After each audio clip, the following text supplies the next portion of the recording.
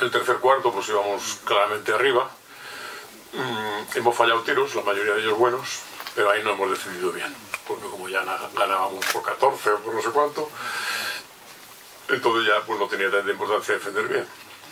Y ya en el cuarto periodo, pues mm, nosotros hemos jugado agarrotados y ellos han jugado pues súper tranquilos con todo a ganar y bueno pues hemos perdido el partido.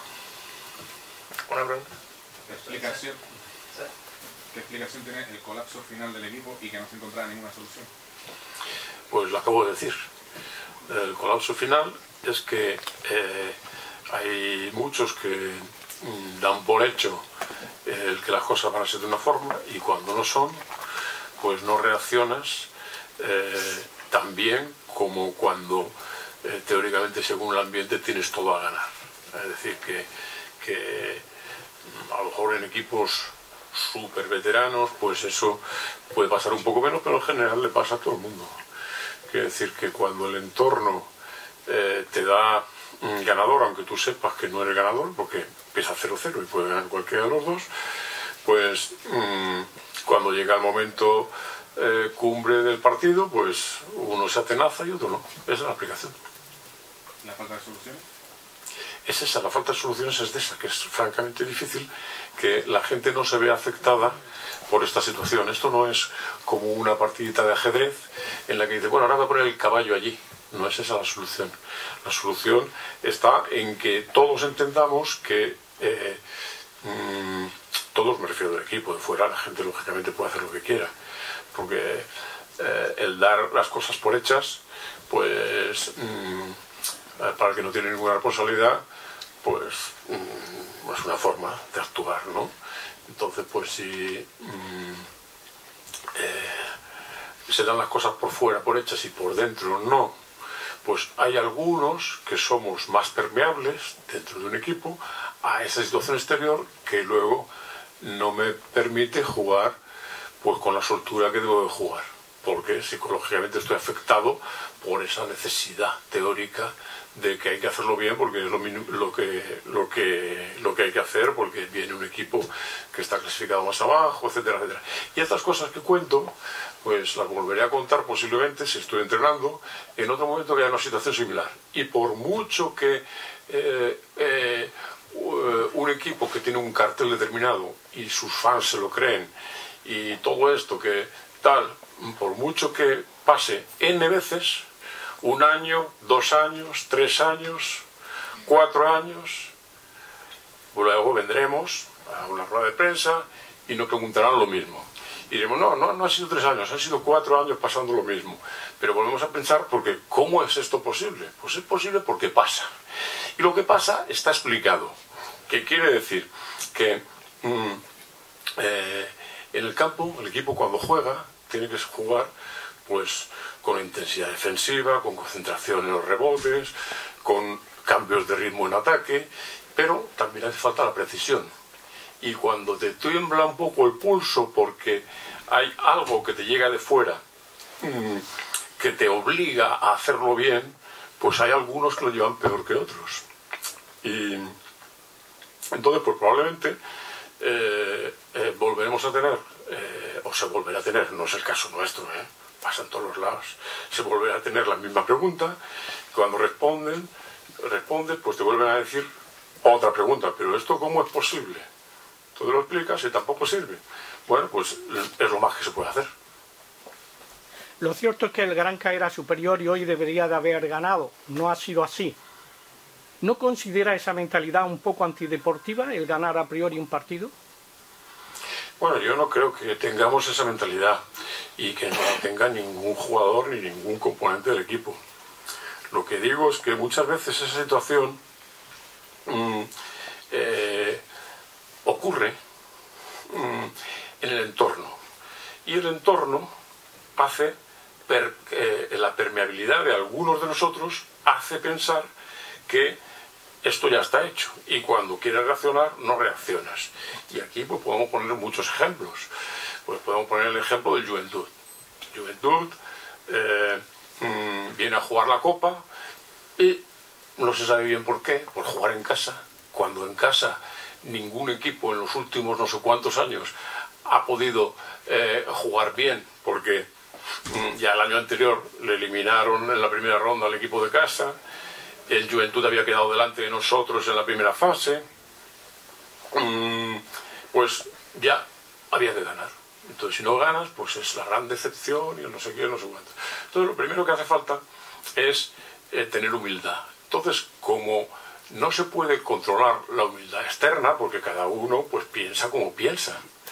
Y eh, entonces, como no se puede controlar eso, lo que hay que tener es un convencimiento grande de que esto sucede. Y lo podemos preguntar con nosotros, o lo podemos eh, atestiguar con nosotros, o con el Casillaca, que juega esta jornada en casa y pierde con un equipo que va cinco puestos más clasificados más atrás. Entonces, ¿pero cómo es posible y tal y cual? Pues lo he explicado ya, pues lo he explicado ya. Entonces no puedo explicar más allá de lo que acabo de explicar. Ahí estoy, ¿cómo se impermeabiliza este vestuario para que no vuelva a pasar esto? No, no se puede impermeabilizar. Yo creo que mm, hay que eh, respetar las opiniones de todo el mundo, pero tú tener un convencimiento propio de lo que son las cosas. Y entonces ese convencimiento te va a llevar a que cuando vas 16 arriba, no estás pensando esto ya está hecho, porque como lo dice todo ambiente y no sé qué, sino que estás jugando fuerte. Y dentro del equipo pues tenemos que salir varios. Un entrenador, un ayudante, un, un jugador, un pivot, un delegado. Vamos, que esto hay que hacerlo.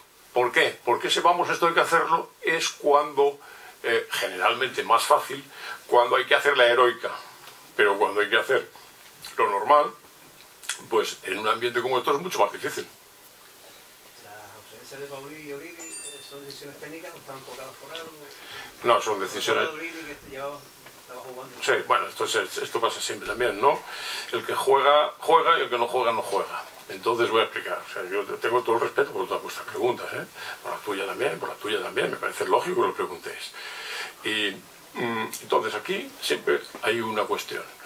Yo no voy a, incidir en que luego se pone, se deja de poner. Yo respondo lo que me preguntáis. Eh, la decisión de quién juega o no juega eh, viene en base a, primero, que hay cinco jugadores que tienen que jugar Segundo, tenemos 12 jugadores. Tercero, el que mejor entrena y el que mejor juega y una suma de ambos, de ambos conceptos son los más importantes. Luego puede haber terceros que pueden ser decisiones tácticas de un momento determinado en función del tipo de partido que hay. Pero claro, esto no se puede explicar, decir, pues, ¿por qué no juega Summers? ¿Y por qué no juega O'Leary? ¿Y por qué no juega no sé quién? Pues claro, pues esto siempre ocurre en todos los equipos. Y eh, eh, puede haber algunos casos en los que mm, en algunos equipos, probablemente pues en muchos equipos de la NBA, juegan los que tienen mejor contrato. Y en otros equipos, incluyendo algunos de la NBA, pero pocos, eh, juegan los que más se lo ganan. ¿Y dónde se lo tienen que ganar? En los entrenamientos y en los partidos. Entonces, el que está en todos los entrenamientos y está en todos los partidos soy yo. Entonces soy el que decide en función de esto. Que además, desde mi punto de vista, es lo mejor, porque eso lleva a, una competencia entre los jugadores sana. No es decir, pase lo que pase, tiene que jugar el que tiene el contrato más alto, ¿no? Eh, bueno, ya está. ¿El equipo se ha podido ver influenciado por el esfuerzo físico contra el Casicaya el miércoles y por todo el tejemaneje de que si se iba a viajar o no viajar, les haya podido afectar un poquito? Yo creo que no pero podría ser, pero creo que no. Yo creo que es un poco lo que ya hemos analizado aquí. Eh, pero se dio un cierto ambiente de preocupación, a lo mejor entre los jugadores por las amenazas tan graves que han, que han sufrido. Yo creo que no, pero claro, eso cada uno no sé cómo es. Es decir, a mí mm, he vivido mil cosas. Eh, eh, nos hemos retirado en un partido antes de empezar. todos al vestuario porque no jugábamos, porque no había seguridad ha terminado un partido y había jugadores debajo de la mesa, eh, eh, debajo de la, publicidad. Yo he salido así del campo, han tirado sillas al campo. Entonces, sin embargo, yo nunca he pensado en esos problemas. Entonces, eh, ¿quiere decir que haya alguien que lo piense? Puede ser, pero en principio yo espero que no, que no haya ningún problema y que no sea ese ninguna, ningún tipo de causa para que estemos jugando por debajo de nuestras posibilidades en ciertos momentos.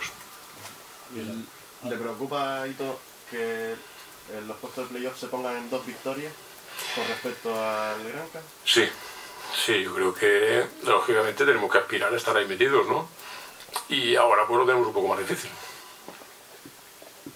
¿El ambiente favorable a Pedro Martínez, eh, público, pudo haber influido de alguna manera en el juego? No, a mí me parece eh, muy bien, ¿no? Que, que Pedro, que, que ha estado muchos años aquí dando pues un buen rendimiento, pues que se le reconozca, me- yo lo celebro mucho por él y eh, yo no creo que tenga mucho que ver con eh, estas cosas que comentaba antes, que son lo que creo que son las causas determinantes. Teniendo en cuenta esas causas determinantes, ¿no habría manera a lo mejor a nivel táctico de contrarrestar eso? Pues podría ser, pero mm, eh, a lo mejor tendrías que contarme tú cuáles son, porque yo realmente, claro, claro, es que mm, tú te das cuenta que eh, eh, las preguntas que has hecho, que ya repito que no me ofenden para nada y me parecen muy bien, pues todas mm, llevan al mismo sitio. Que es, yo te he explicado las razones y tú quieres buscar otras. Yo creo que no hay una forma táctica de solucionar eh, los temas que te he explicado. Entonces, si lo conociese, y me parece que tengo bastante trayectoria y, he visto bastante baloncesto para que lo pudiese conocer si existe, ¿no? Mm, Pues lógicamente lo haría, ¿no? Pero creo que es prácticamente imposible el, sacar esta solución, esta- estas, estos problemas adelante, que es el que te vas encogiendo y el otro equipo se va soltando. ¿Cómo afrontan el partido de vuelta en Turquía el miércoles? Pues bueno, ahora tenemos que empezar a pensar aquí, ya sabemos todos que, que el jugar eh, mm, eh, dos competiciones pues lleva a tener más dificultades, porque mientras que los demás equipos, pues de semana en semana, muchos de los demás equipos, pues van pensando en, cómo preparar el partido siguiente, mentalmente, psicológicamente, nosotros hasta ahora pues teníamos que estar pensando en el Manresa. Y a partir de ahora pues empezaremos a pensar allí. Entonces pues yo creo que vamos a intentar llevarlo bien. Mm, pero es a partir de ahora cuando vamos a pensar, no sé cómo está el equipo al respecto, porque no se me ha ocurrido preguntarles antes del Manresa cómo íbamos a estar con los turcos. Y después ahora en el vestuario también he estado tampoco.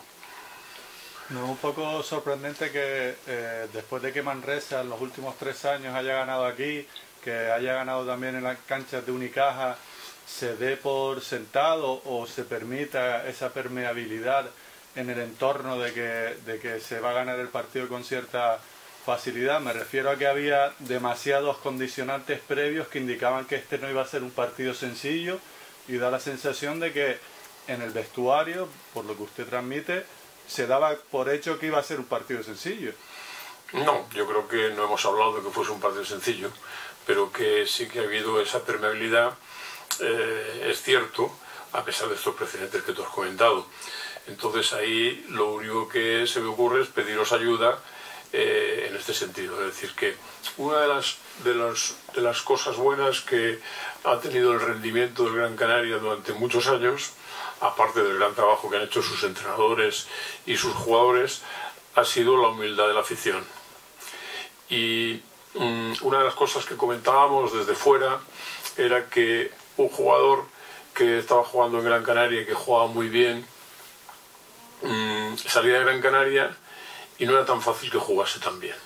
Porque aquí pues se le apoyaba mucho, se iba perdiendo y en vez de gritarle decía, hombre, ¿cómo haces eso? Se le animaba.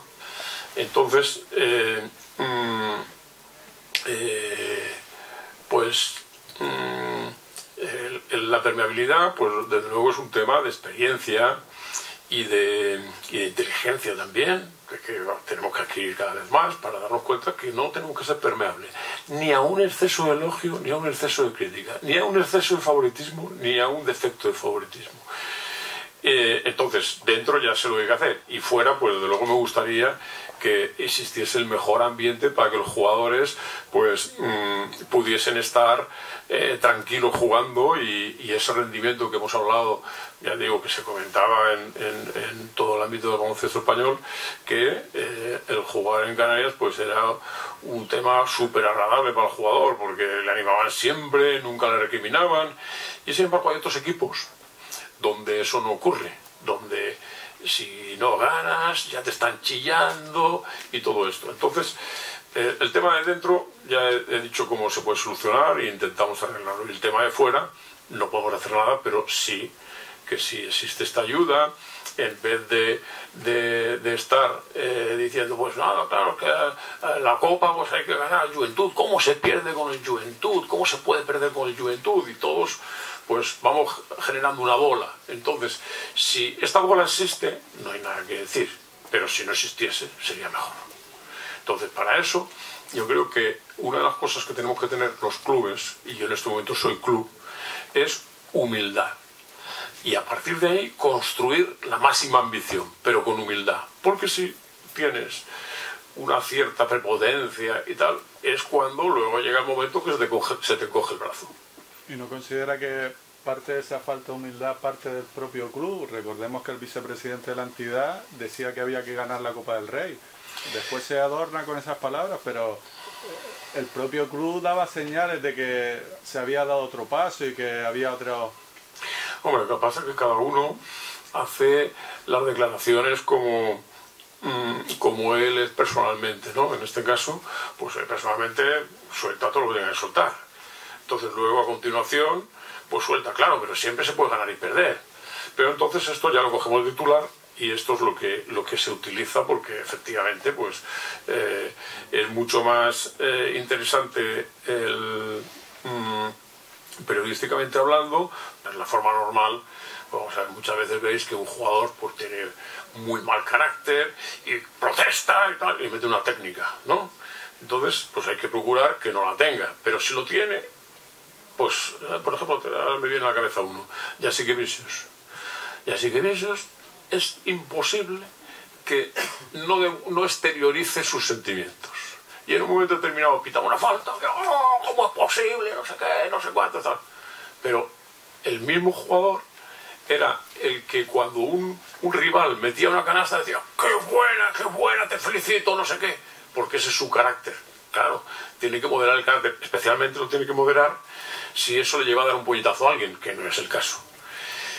Entonces, claro, si todos fuésemos perfectos, pero no, cada uno tenemos nuestra forma de actuar. Pero globalmente, respetando que haya un jugador que sea más explosivo, eh, porque hay que intentar pues, bajarle un poco el nivel, pero eso existe. Ahora, globalmente, porque haya uno que sea explosivo, ¿todos somos explosivos? Yo creo que no. No debería de ser. Sucede. Pues ese es otro tema que, que desde luego no está en mis manos controlar. Explicaros lo que yo pienso está clarísimo que os lo explico todo. Ya podéis preguntar lo que queráis que os lo explico.